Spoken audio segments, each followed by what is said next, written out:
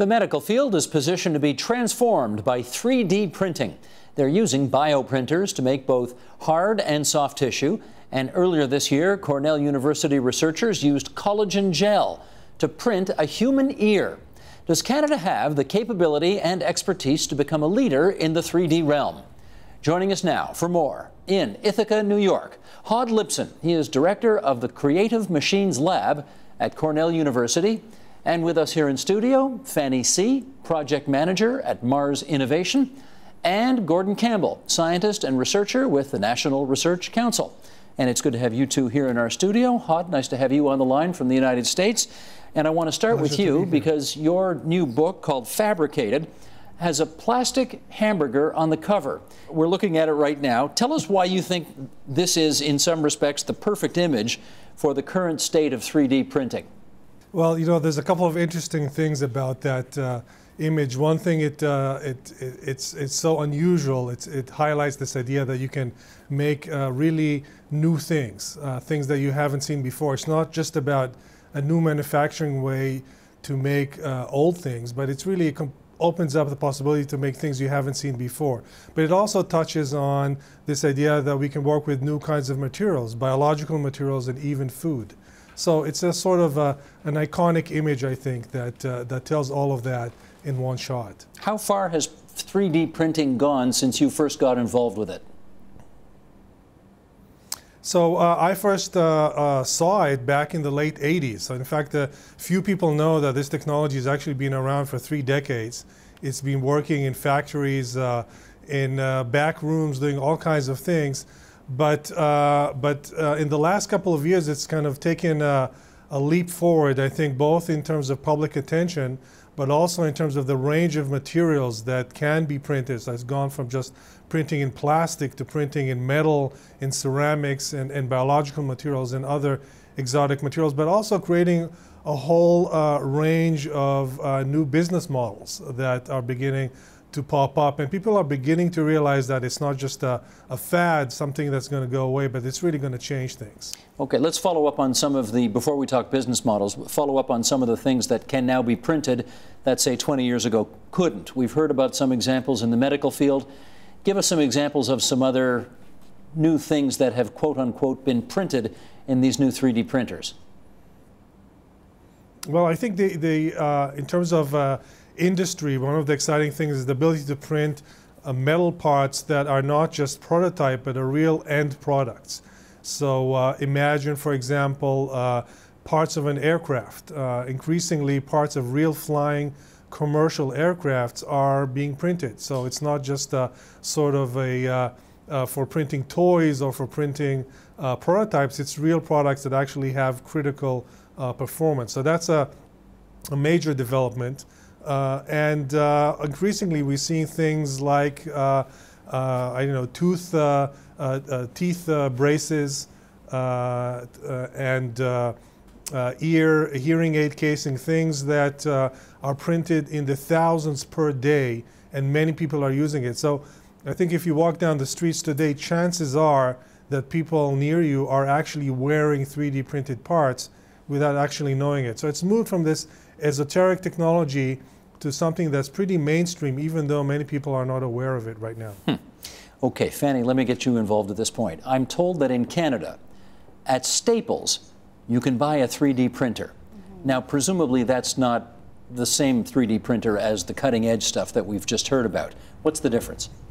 Exactly. Um, one of the most exciting projects that we have coming out of University of Toronto is a microfluidic-based printer. A which? Microfluidic-based printer. Microfluidic-based? Yes. Which means? Which means that it allows for unprecedented precision, allowing for the positioning of cells relative to one another, as well as the creation of microstructures that mimic the tissue environment.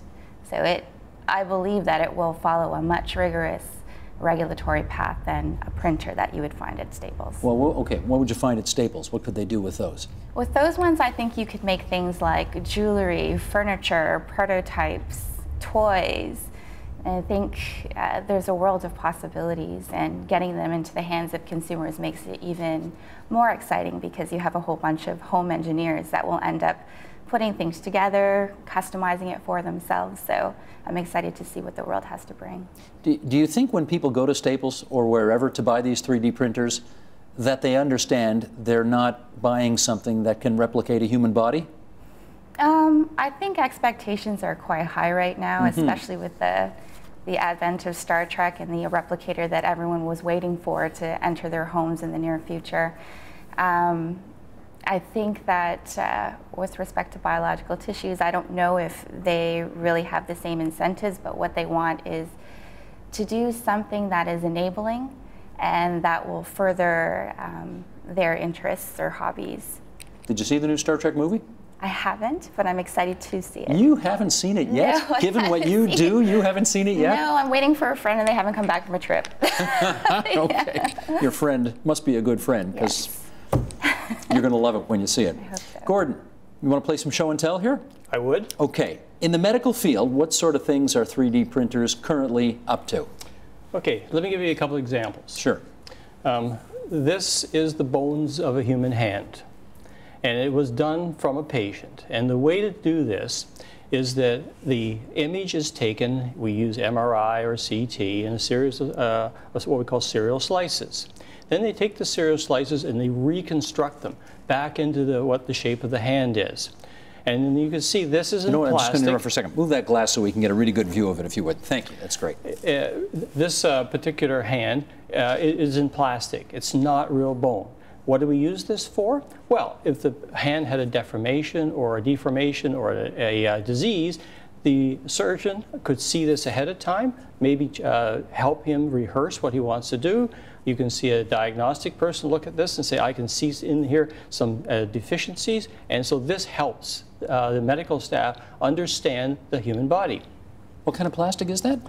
This was done on a machine called stereolithography, okay? That fancy name means that it was done in an acrylic plastic. So maybe I should explain how it was made, okay? okay? What happens is that you can take the 3D shape that you want, and then within the stereolithography machine, what you do is you take that hand and you slice it into a whole series of slices, 40 microns in thickness. How much is a micron? Uh, well, one millionth of a meter. Got Um, okay. 100 microns is a human hair. So then what the machine does is that it has a pool of polymer here. It has a control system and it has a laser. The laser is controlled by a computer, and it takes the first slice of the first uh, 40 micron slice, and it prints it on this pool. And the pool turns from a liquid to a solid. Then the tray moves down a little bit, then it does the second layer, down a little bit, third layer, fourth layer, fifth layer, multiple layers until finally, guess what? You've recreated that shape and with an accuracy of 40 microns. So it may take a few hours right now, but this is what you can produce with the current technology. What okay. else you got back there? So can I, so I move on to yeah. another situation. This is a kidney. This was done by a different uh, 3D printer. That was stereolithography. This is fused deposition modeling. That's probably what you're buying at Staples. Not take away from you know, what you said. Fused deposition modeling is a little bit different technology, again, 3D printing. What this is, is that you have a material, uh, a model material, and a support material and it extrudes out. out. It's much like the, a filament, like in your weed eater that you use to trim your yard. Mm -hmm. It extrudes it out, and again, it builds it one layer at a time. So it takes it, now this is 100 microns thickness. So it takes the slices that you're building up, so thinking like slices to build a loaf of bread. First slice, second slice, third slice, fourth slice, and there it is. There's a plastic model of a, of a kidney. All right? So it's in the shape of a kidney, it's plastic. What would you do with that, though? Well, again, I, I, use this to give it to a physician or a medical specialist and says, what do you think of this? Does it look realistic? And he'll say, yes, but it's plastic, you know. It's not much good to me, okay? so, in order to make it useful to him, what we do is we've created a tissue mimicking replica. Now, this is a special material. You Look made that in a 3D printer? Not quite. Okay. Let me explain this. Okay, so here's a tissue mimicking uh, construct, okay? It has the same physical properties as a real kidney. It has the same imaging properties as a real kidney. It has the same shape as, as a real kidney, same anatomical shape. So this is what I'm able to make and what I produce. Now the way I produce it is I have to make molds, okay? Mm -hmm. So here's a mold that was used to make this one here. So we took this kidney, we created this shape on 3D printer, same machine that was used on this one, and I can produce these right now. So that's right now. That's our current status. And what can you do with that? We use this for training purposes. Specifically, how, would you, uh, how do you train people to do a tissue biopsy of a kidney? And to do a tissue biopsy of a, of a kidney, you use what's called uh, image-guided uh, techniques. And to do that, the person taking the uh, biopsy, and one hand has an ultrasound transducer or, or handpiece, and the other one has a, a, needle, basically. And they look at, it, at a screen, and they're watching the screen, and they're going, hmm, got hand-eye coordination here, got to see what I'm doing, pushing the needle in, and they've got to hit a target that's right there. If they miss it, they don't get their biopsy. If they go into here, well then they go inside what's called the medulla. So if I look at this particular specimen that you see here, you can see the outside, which is the cortex, inside this medulla. If they hit that, they're in trouble because it will cause serious complications. So what do we have to train these people? After all, you don't want to be the first subject. well, I don't. So what we're doing now is taking that kidney, putting it inside of a torso, and using that as the first training device to, to, so to allow the new trainees, the residents and the fellows to learn how to do a tissue biopsy of a kidney. inside the torso of a cadaver, I guess. No, we no? actually build the same thing, but we expand on this. We build everything out of, out of this tissue mimicking material. Hmm. Okay? Don't use any human whatsoever, all a synthetic material. And the, as I said, the beauty of this material, as you can see, it's wet. It has the same characteristics as real tissues. Fascinating, as Spock would say. I think, I think that the, if you take that a step further, you can imagine uh, depositing, uh, instead of using a mold, actually printing with that material directly, and even printing with multiple material types. So you can print bone and, and uh, you know, kidney tissue and muscle tissue, and really begin to recreate uh, training models and surgical planning models uh, that are increasingly realistic. Even uh, here at Cornell, we uh, frequently get a kind of uh, urgent call from the vet school to print the bones of a dog that is going into surgery. We print those bones out of plastic, and the surgeons have a chance to practice with surgery before they go in, and, and they can reduce the surgery by half.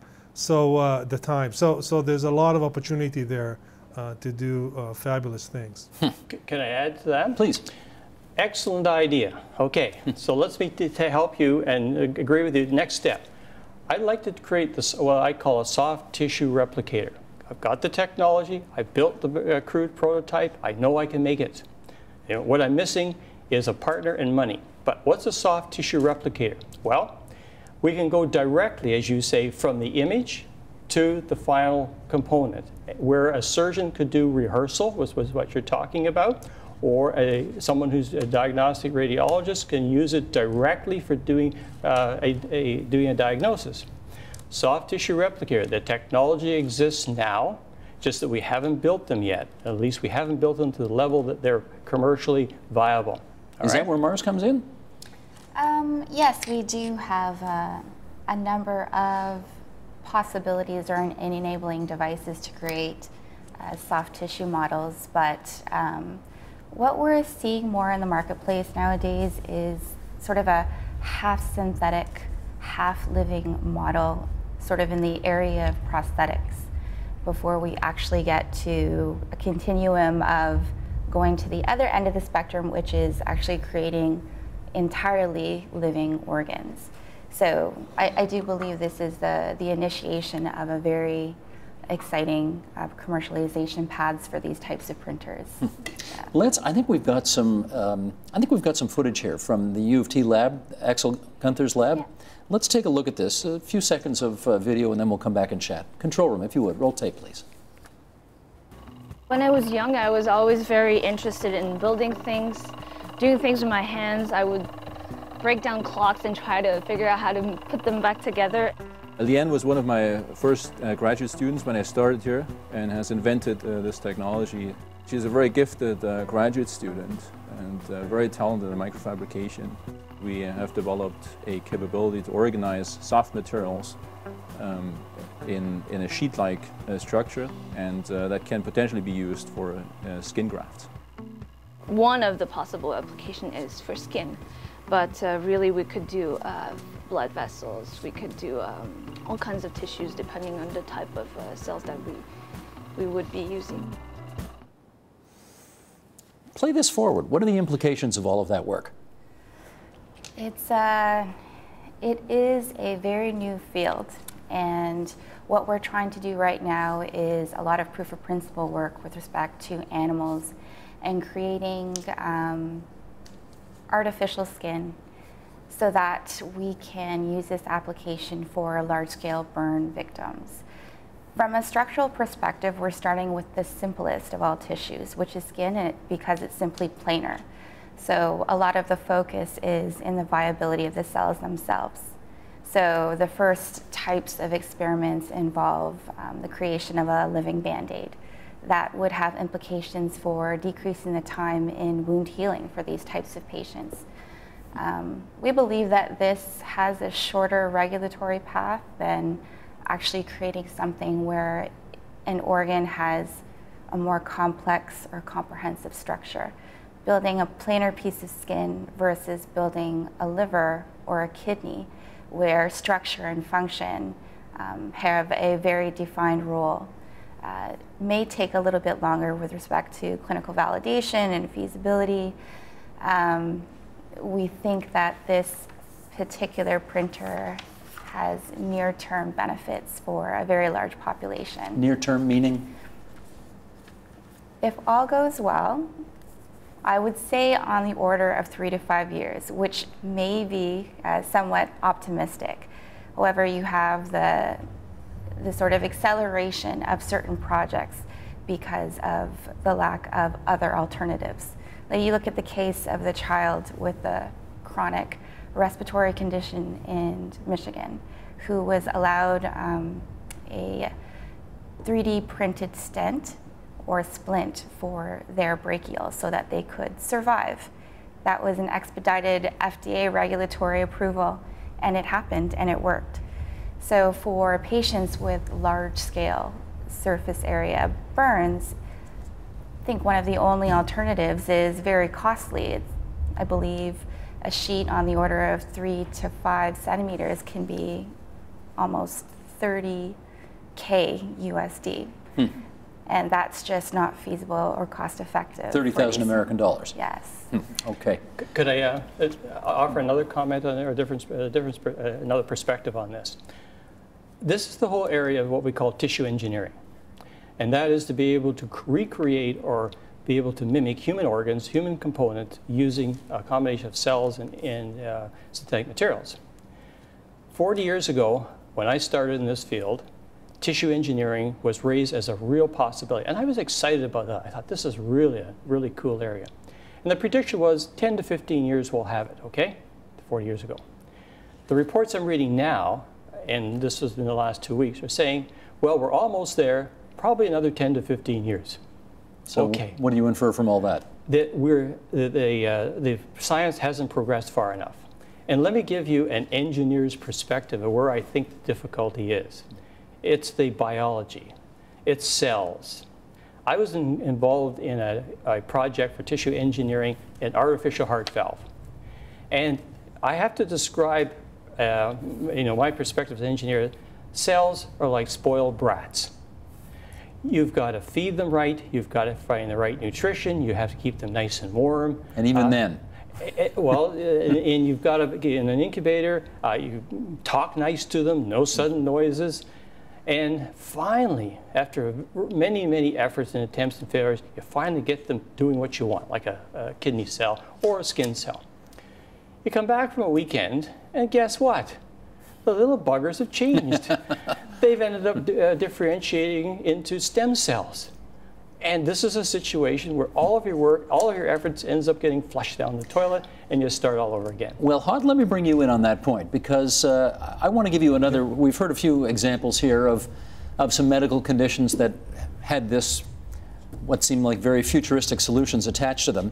I want to talk about the guy who's actually producing this program that you're participating in right now. His name's Greg Thurlbeck, and he's got a bum knee.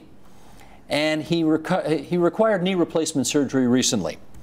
And before he got the surgery, he looked into whether or not 3D printing was an option so that a 3D printer could replicate the meniscus cartilage that apparently he needed. He looked at it, mm -hmm. considered it. In the end, he decided not to do that. Um, I think not necessarily because he didn't trust it, but because it didn't have enough of a track record yet for him to, to put inside his knee. And I'm wondering whether you think he made the right call. That's right. No, he definitely made the right call uh, today. But uh, but in the future, I think this. Uh, I, I, do. I also subscribe to the optimistic view of you know three to five years. Uh, certainly for tissues like our cartilage, uh, which is the, for example, meniscus of the knee, bone, um, and uh, tissues like that, are fairly amorphous. they don't have a lot of vascularity. They are the quote unquote lowest hanging fruit in terms of tissue engineering. And that technology for making those kinds of tissues fairly uh, within reach. The, the challenge, just to, to emphasize what was just said, is that unlike printing in plastic or printing in metal, uh, when you print with live cells, there's no start button, so to speak. You don't print it and then that's it, the tissue is ready. It's more like uh, planting a garden. That's, I think, the, a good analogy. You put the cells in the right places, and then uh, you have to wait. You have to wait for the cells to sort of uh, excrete the intracellular materials, to connect each other, to start working together as a tissue. And that is, uh, that's the part where, where the biology is not well understood. Uh, and uh, we try to do that uh, in various ways. I, I like the analogy of spoiled brats because one of the ways to get uh, meniscus tissue to actually work, for example, is to beat it up a little bit, to, to put it in some tough environment, uh, until it kind of shapes up and uh, becomes ready to withstand the impacts of a knee. So you don't just take the printed meniscus and implant it, you have to incubate it, put it in a bioreactor and so forth. The same thing if you're printing a heart valve. Uh, you don't just print it and implant it, but uh, work here uh, done by uh, Jonathan Butcher is all about printing heart valves and actually putting them in a reactor with simulated blood flow to make sure this uh, heart valve shapes up uh, before it's actually implanted. So there's huge potential, but there's also a few important pieces of the puzzle that we don't understand yet. But I think in the in the longer term, it will be some almost uh, a norm that you, uh, when you're young and healthy, you get a full body MRI scan, you save it on file, and when you need uh, a new body part, uh, you call it up and have it printed. And you will own the machine and do that yourself? Oh no, absolutely not. This is uh, you know this is a whole other debate of where these machines are and how they're regulated and who gets to do this. Uh, but uh, certainly, this is not a machine that you buy uh, and own at home. This, these machines will be in hospitals. It, it's it's fairly complex process even when it works well. Okay, Gordon, follow up on that if you would by answering this. Uh, there will be a point, maybe not to do the kinds of things we just referred to, but there will be a point where these home bio printers or some whatever 3D printers are going to be obviously more commonplace than they are today. And I wonder what you think the ethical implications are of people owning these devices almost as if they were as commonplace as toasters. I think when you're talking about a home printer, what are the applications for our home situation? Uh, there are, there's a couple of considerations here. One, there's what we call the hobbyist market. The hobbyist market uh, is a group of people who would like to build components and parts. And right now, there are products available for the hobbyist market. And they can borrow, make small parts, replacement parts for your lawnmower. Uh, they can make uh, jewelry and things like that. However, there's a couple of other steps we look here. One is the opportunity to uh, print drugs, medicines. So instead of having a handful of medicines that a person must take every single day, imagine 3D printing one pill, everything's in there, you take it once a day, and that's it. And you can make it yourself? You can make it yourself. It's on command. So you push the button, It, uh, it has the ability to formulate what's in there, put the pill together, spit it out, and you take it and you uh, put it in your mouth, and that's it. So you don't have to go to the drugstore anymore to buy it? No. This is the future. This is not yet here yet, but this is the concept that we're talking about. And I think it, Big Pharma's about to have a heart attack I if they hear this. Go ahead, Hod. What were you saying? Well, I think I, th- I, think the, the uh, uh, first of all, the, the prescription would be regulated externally. So it's not that you decide what's in the pill, but the pill is that, printed on demand. True, true. But I think uh, it, it, it, gets, it gets more uh, exciting when you combine it with food. Uh, so I'm, uh, you know, I think that the real future of, of home printers is not bioprinting, but it, it's a very similar technology, and that's food printing. Same kind of issues, same kinds of materials, without all the regulations. So you can imagine that uh, you know uh, certain uh, types of food that you print might uh, be uh, somehow linked to uh, your biometrics, to drugs that you need, to sugar levels that are appropriate, and so forth. So it's not necessarily just a medical printer or just a plastic printer. You can really start seeing uh, that it goes into other uh, parts of our life in, in other ways. Fanny, I've got a minute left here. Do you think there's anything we can do to build safeguards into this technology so that these consumer printers, let's say, the ones that would be as omnipresent in the home as a toaster, don't do things that um, are problematic? I think what's important is to recognize that the bioprinter itself is an enabling technology that doesn't have a bias towards good or bad. It really is about the application that you move it towards or progress it to.